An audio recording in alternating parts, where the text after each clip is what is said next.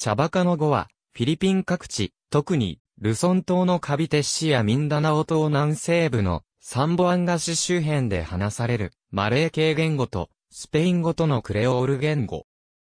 チャバカの語はスペイン語で下品な趣味の悪いなどを意味する形容詞、チャビカーノが元になっており、チャビカーノランゲージと表記されることもあるが、文章やメディア、あるいはサンボアンガ市の話者の間では、正式にはチャボカーノランゲージと表記される。チャバカの語は、アジア唯一のスペイン語が元になった、クレオール言語である。また400年以上にわたり生き延びてきた、世界最高級のクレオール言語でもある。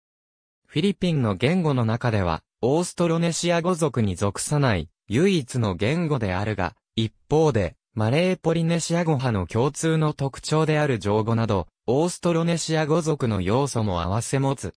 チャバカの語話者は、主に、サンボアンガ半島突端のサンボアンガ市及びその対岸のバシラン島に集中する。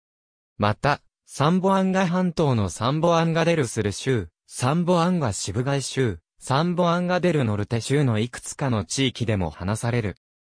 さらに、ミンダナオ島西部のコタバト市、ミンダナオ島南東部のダバオ市、ルソン島のマニラ南西にあるカビテ州のカビテ市及びテルナテ町にも話者がいる。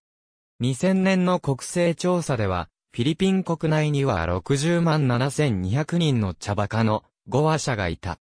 サンボアンガ市民77万人の主な言語は茶バカの語であるため、実際には話者数は国勢調査の数字を上回る可能性もあり、また北、アメリカやラテンアメリカなど国外に移住した茶バカの語話者の数はここには含まれていない。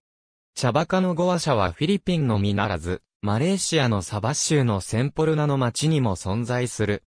サバ州は、サンボアンガ半島及びバシラン島と距離が近く、19世紀後半まで、スール王国の支配が、ボルネオ北部へも伸びるなど、ミンダナオ島南西部、スールー諸島とは密接な関係にあった。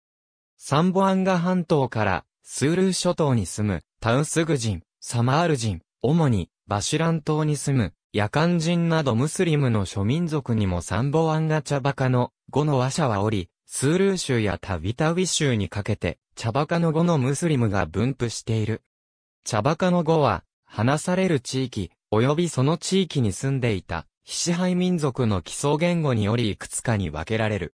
タガログ語が元になり、生まれた茶バカのには、カビテ市周辺のカビテーニョ、テルナテ町周辺のテルナテーニョ、及び現在では、死後となったマニラ市エルミタ地区のエルミターニョがある。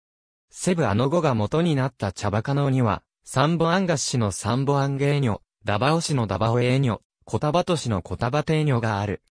これらのうちサンボアンゲーニョは、話者が最も多く、サンボアンガ市の主たる言語にまでなっている。サンボアンガなどでは、茶バカの語は、教育、書籍、新聞、テレビラジオなどにも用いられている。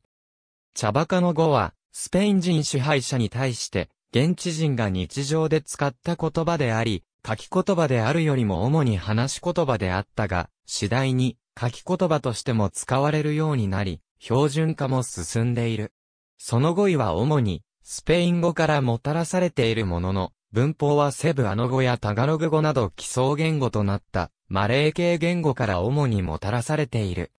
また現在のスペイン語からは消えた古い語句が残っている。ほか、スペイン語と異なる変化を経た結果、現代スペイン語と形態が似ているものの違う意味で使われている空に言葉も多数ある。サンボアンガの茶バカの語は、フィリピン各地の言語の影響があるほか、イタリア語、ポルトガル語、いくつかのアメリカ先住民諸語からも影響を受けている。かつて、スペイン領フィリピンはメキシコに属しており、1635年6月23日に、幼少サンボアンガに、サンホセ要塞が着工した後、ルソン島のカビテ州やビサヤ諸島のセブや色々から派遣された労働者たちが、スペイン人やメキシコ人の兵士たちと共に建設に従事した。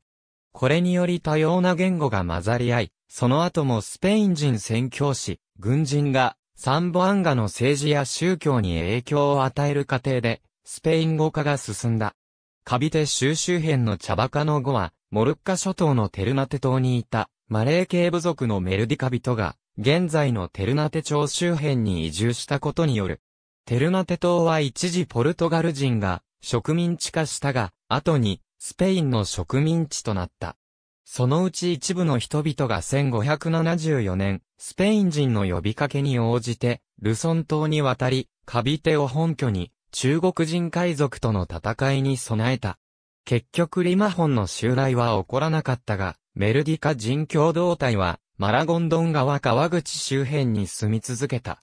現在ではその地が、テルナテ町と呼ばれ、メルディカ人の末裔はポルトガル語の影響を部分的に残したスペイン語クレオールを使い続けている。ありがとうございます。